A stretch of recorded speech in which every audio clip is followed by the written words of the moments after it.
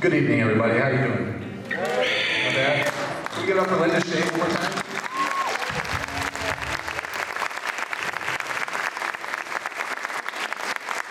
My name is Terry Morrow. I'm a guitar um, major here. I'm also a music education major.